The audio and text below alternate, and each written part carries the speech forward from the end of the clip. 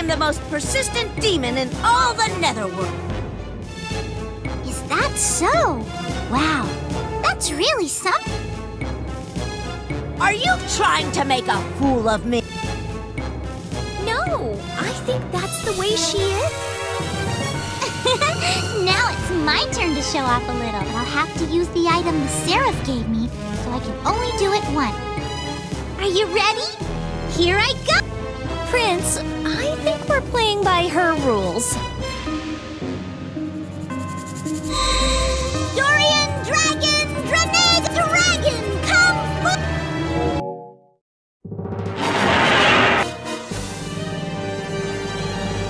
Prince, we have to fight this? We don't have much choice, do we?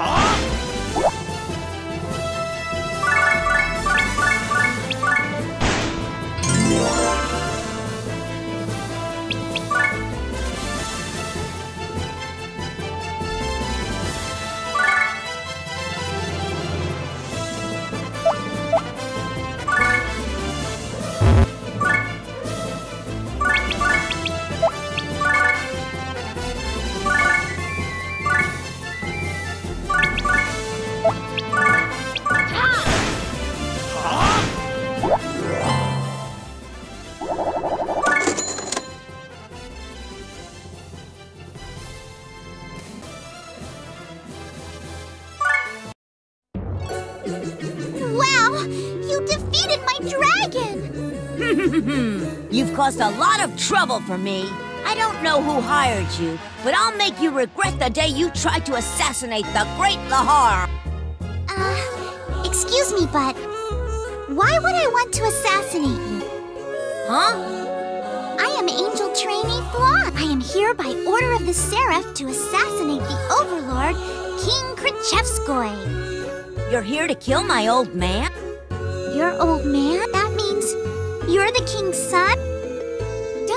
Anyone in Celestia read the newspaper? You came all the way from Celestia for nothing. My old man died two years ago. Oh, I'm sorry. H hey, why are you crying? Your father passed away, right?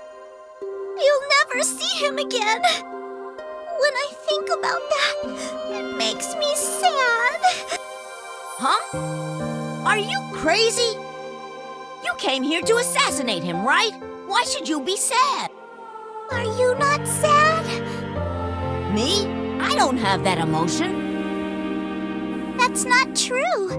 When you lose someone or something important to you, you cry, don't you? Your heart aches, doesn't it? Hmm, I don't understand a word you're saying. How come? How come? Because I'm a demon, of course. Demons don't know sadness? E exactly! I've never experienced such an emotion in my entire life. If that's true, then does that mean demons don't know love either? Sadness is only possible because of love. You're right. Demons have no love either. That's... that's just... too sad. She sounds just like my mother. How stupid. Love. What good is it? What's the point in having it? Love is the reason Mother is dead. I don't believe. I'll never believe in love. If demons really don't know love, then it's my duty as a Celestian to explore the matter. I was ordered to assassinate the Overlord, but it has to be. Whether demons are pure evil or not, if they really don't feel love, I will bear witness to the truth. What's love good for? I don't need it. Demons like me don't need that kind of crap.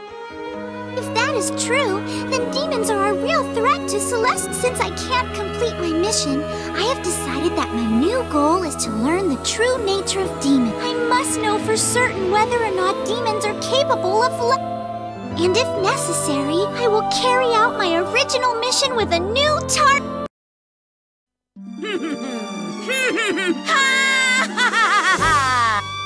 All right. Be my guest. I shall burn a true vision of horror into that empty head of yours.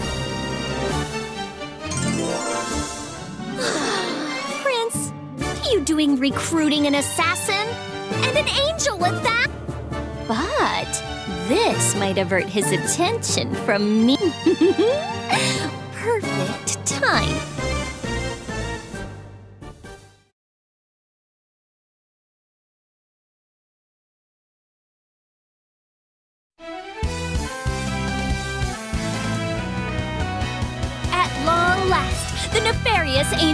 Angel seems to have forsaken her evil ways. Nefarious angel?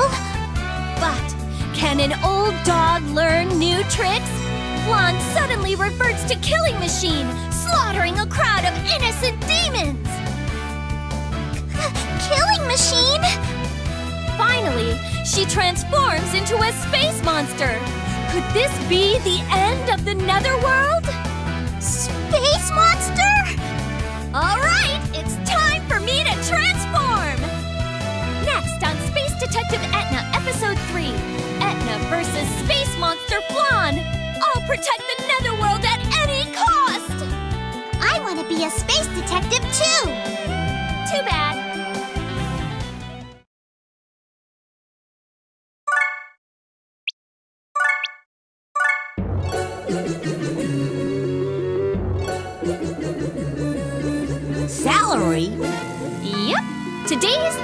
Payday.